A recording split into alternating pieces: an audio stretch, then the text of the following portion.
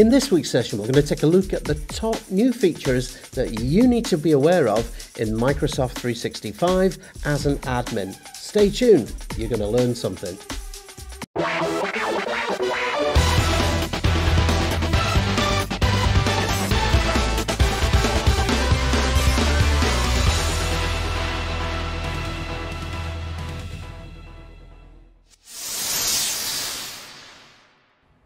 Greetings everyone, welcome back to the channel. Andy Malone, Microsoft MVP.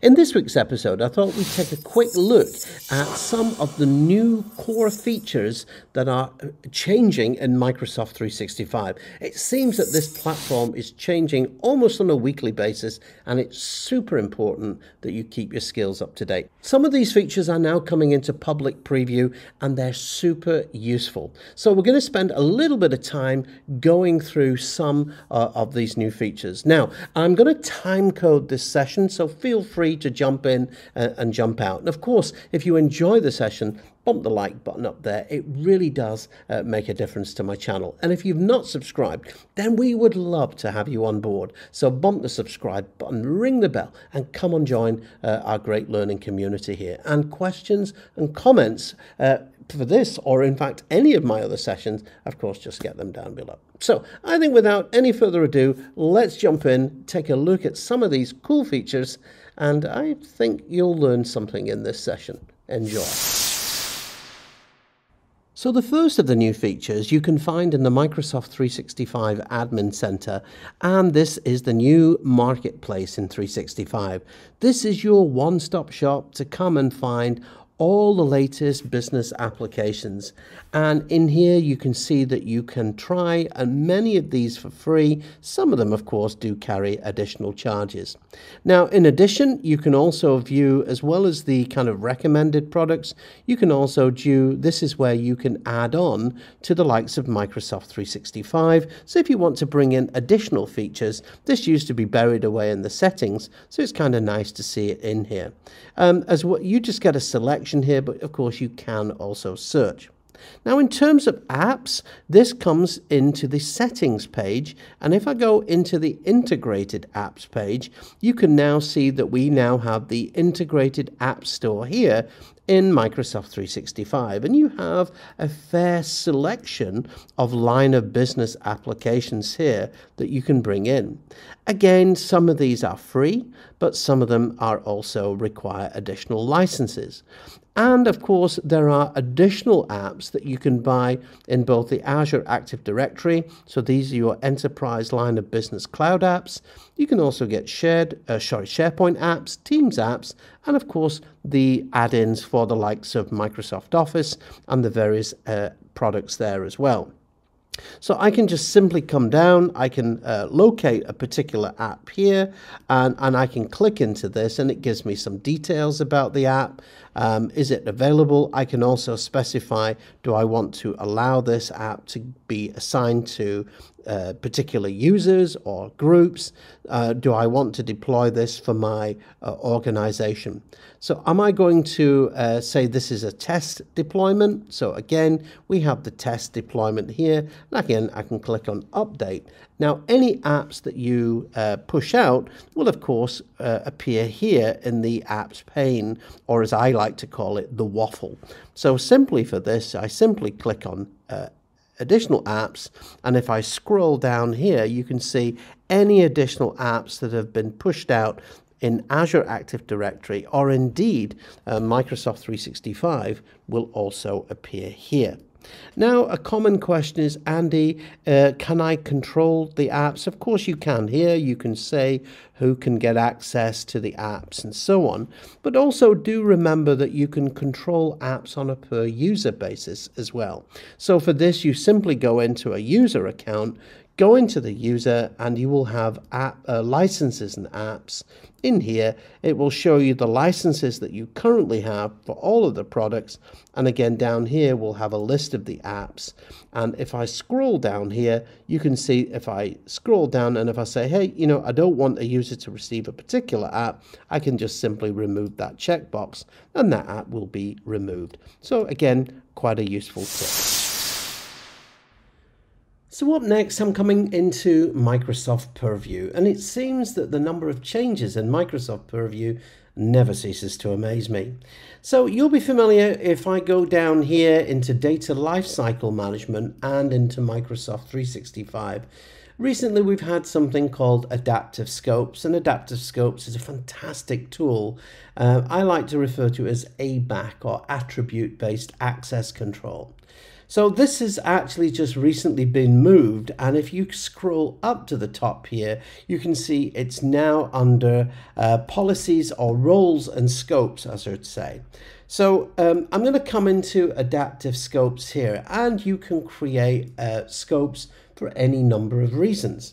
So this week I'm in Norway so I'm going to call this my Norway scope and my Norway scope, I can put in a little bit of description here and it says, okay, what do you want to create?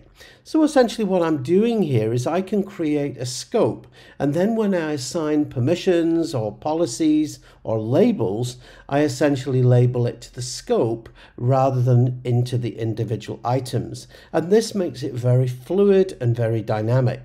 So you can set this on per users, per SharePoint sites, and even Microsoft 365 groups. So um, let's say, for example, I want to do this against a Microsoft 365 group. Well, now you can see it says, okay, which attribute is equal to or contains with or starts with and so on. And again, you can do the same thing. And depending on which site you connect to, you can see that you choose, you can choose um, obviously your own customized uh, options and you can customize these. You can put in the site name or you can even do the rule by the site URL. And of course, users, I can then add individual users. So I can say, rather than picking uh, users one by one, I could say basically all users uh, if their city is equal to, let's say, for example, Oslo. So if anybody in Oslo will automatically be added to the uh, scope here. So I'm going to go with that. And so if I click on next, I'm going to click on to submit. So now when I click on done, what I'm now going to do is let's say I'll pop back down into lifecycle management and I can create a label here or even let's say a retention policy itself.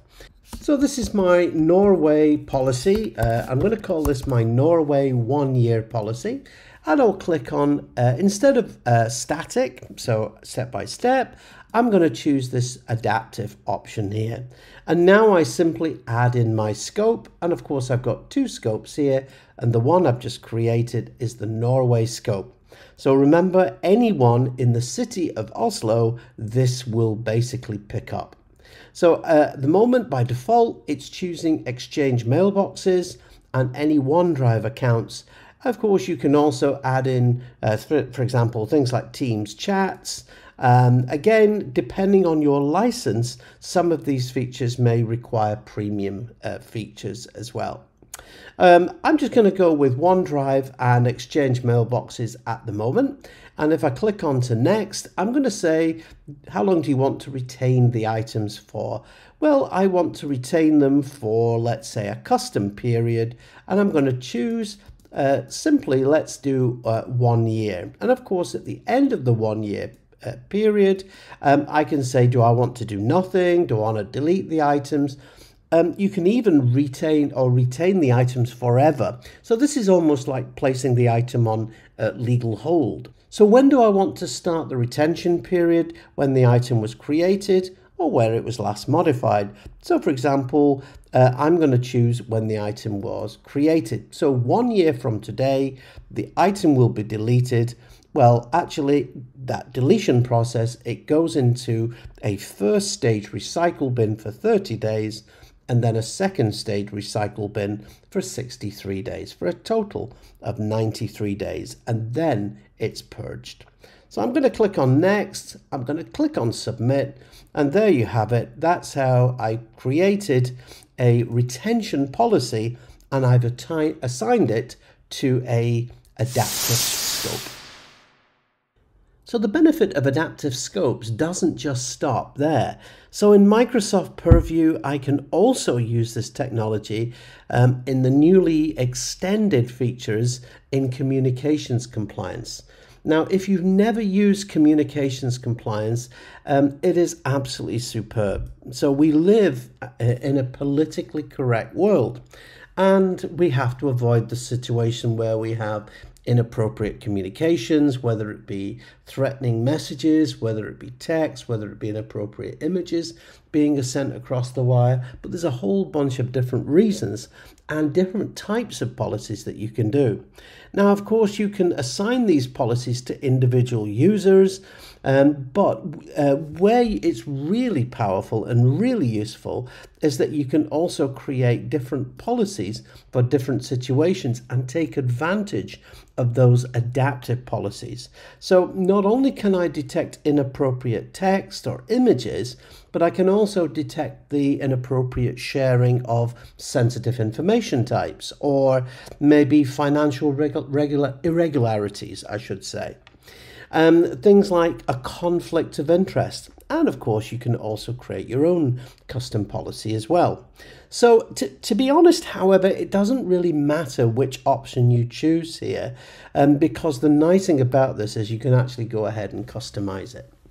So you can see here, I can set this for all users or specific users. Um, I can also customize the policy if I want to. So if I choose to customize this policy, I now get the additional option of selecting adaptive scopes. So rather than fixed sets of users or fixed sets of groups, where this is really useful is if the group moves or changes department, it will pick them up either or. So I'm going to click on add scopes and I'm going to choose our Norway scope, which of course is looking at all our users in the, in the city of Oslo. So now I can say, do you want to exclude any particular groups here? Do you want to add in a reviewer? So uh, for the purpose of this demo, I'm just going to add in myself. But of course, in reality, this may be somebody in HR, maybe somebody in uh, uh, compliance or something like that. So I'm going to click on next and what do we want to monitor? So we can monitor all communications in Exchange, in Teams, in Yammer of course, and I'm going to click on next. Oh, by the way, just a quick thing, you can also monitor um, non-Microsoft apps as well. And for that, let me just click in here. You can see that we have this data connectors. So any connectors that you've added in here, you can also add in uh, to that uh, communications compliance and it will monitor those as well. Please note, however, there are maybe costs involved with this, so you maybe want to check that out first. All right, so I'm just going to go ahead and click on next, and you can see, do I want to monitor inbound, outbound, or maybe just internal traffic? Um, of course, I can also, this is where I can control my uh, the content. So I, I can add in uh, classifiers. I can look at the moment for things like targeted harassment, threats, any kind of discrimination. But of course, I can also add in additional things as well. So things like profanity. I could even bring in things like um, uh, uh, any inappropriate images. Um, although gory images, you might want to watch out for that if you're in a uh, obviously a medical environment. Um, so now I'm going to go ahead and click on next. And there we go. So now I've gone ahead, I've now created uh, my policy using an adaptive scope. So this is really super uh, useful. So of course, one of the controversial components of communications compliance is that your employees would definitely need to know about this feature and the fact that they're being monitored. So again, you may want to take just a little bit of legal advice about that. But there we go, communications compliance. Now, finally, this one I really like. One of the big issues that we've typically had for years actually uh, are users using local admin passwords, either to uh, domain joined machines or indeed standalone machines. And of course, this has had real problems with things like traditional pass the hash attacks. So what we have here is this is Azure AD support for local admin passwords. Uh, and what we do here is that they once you've enabled it, it essentially means that those passwords will be backed up in Azure Active Directory. They'll also be uh, encrypted. So this prevents that pass the hash attack. It also means that you'll be able to recover the local admin password should something go horribly wrong. So this is a really, really nice solution. So to have a quick look at this, I'm going to come into Microsoft Entra. I'm going to extend Azure Active Directory and I'm going to come into Devices and in Devices here, I'm going to click on Device Settings. So first of all, what we can see here is if I just scroll down, is that we can see local admin settings, and this is currently in preview. So first of all, enable Azure AD local administration re recovery. So here we can enable Azure AD admins password solution or LAPS, and you can go ahead and I can switch this on. Now, other things that you might want to also add here is a restriction that prevents users from recovering BitLocker keys for their own devices. So again, do you, if you want to kind of override that, you've got that option here as well. So I'm just going to click on save. Now, essentially, that's now managed or registered in Intune. And I'm going to cover this in a very, and I'm going to cover this in a future session, actually. So for now, I can click on manage admins here and you can also, this is where, of course, you can assign device administrators. So you can either add an assignment, and those assignments can either be based on the user, a guest account, of course, if it's a business partner, a service principal, and also a group here as well. So I can go ahead and I can add in an assignment here. So in this case, I've got a user here called Adele. I'm going to click onto Adele and I'm going to Adele, add Adele in and she is now a device admin. So uh, as I say, the LAPS service in Microsoft 365 and Microsoft Entra is particularly useful. So once you've added in admins, of course, um, they will then appear here. Um, and again, this is going to be the recovery console for that. And I'm going to cover this in a future session. So for the moment, definitely take a look at this article. Very interesting Windows local admin password solution in Azure AD. This will really save you an awful lot of grief. And there's a complete step-by-step -step guide on how it works. Fantastic solution. So there you have it, just some of the new features for admins coming into Microsoft 365. Hey, listen, I really hope that you found that useful. And if you did, bump the like button. It really does make a difference to my channel. And of course, if you've not subscribed, hey, come on on board. Come and join our great community. It's great to have you. And questions, comments, of course, get those down below. And I look forward to reading them. That's it for today. I will see you next time. Thanks so much for joining me. You take care.